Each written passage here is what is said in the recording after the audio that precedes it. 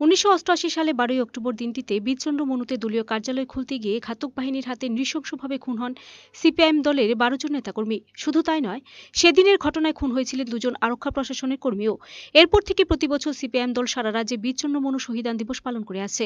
এবারও তার ব্যতিক্রম নয়। মঙ্গলবার সকালে আগরতলা সিপিআইএম পশ্চিম জেলা কার্যালয়ের সামনে শহীদ বেদিতে পুষ্পার্ঘ্য অর্পণ করে খুন হওয়া দলীয় কর্মীদের প্রতি শ্রদ্ধা জানান উপস্থিত নেতৃত্ব। এদিনের এই শ্রদ্ধাঞ্জলি অনুষ্ঠানে উপস্থিত ছিলেন দলের রাজ্য নেতৃত্ব শঙ্কর প্রসাদ দত্ত রাজ্যসভার সাংসদ ঝর্ণা দাস বৈদ্য পার্টির জেলা সম্পাদক রতন দাস, সদর বিভাগীয় সম্পাদক শুভাশিস গাঙ্গুলি প্রমুখ।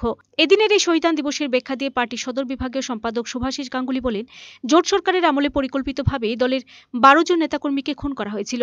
এরপরই জনগণ সেদিন শপথ নিয়েছিলেন, জোট সরকারকে পতনের মধ্য দিয়ে গণতন্ত্র প্রতিষ্ঠা করা। আজকের পরিস্থিতিও কিন্তু একই রকম। বর্তমান বিজেপি আইপিএফটি জোট সরকারের রাজত্বে মানুষের গণতান্ত্রিক অধিকার কেড়ে নেওয়া হয়েছে। তাই গণতন্ত্র পুনরুদ্ধারের লড়াইকে আগামী দিন আরও শক্তিশালী করে তোলার শপথ নেওয়ার দিন হলো এই শহীদান দিবস।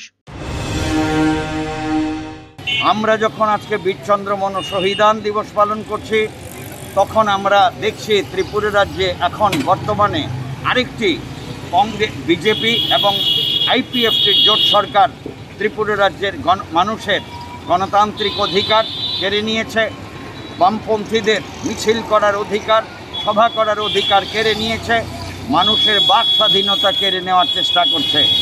আমরা মনে করি, এই এটা করে ত্রিপুরা রাজ্যের গণতন্ত্রকে, গণতান্ত্রিক আন্দোলনকে, গণতন্ত্র পুনরুদ্ধারের সংগ্রামকে দাবিয়ে রাখা যায় না।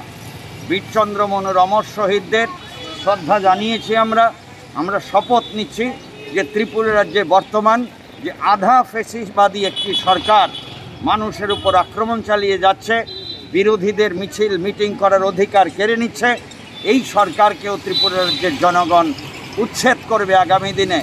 এই শপথ নিয়েই আমরা বীরচন্দ্র মনোর ভিডিও রিপোর্ট সার্চ ইন্ডিয়া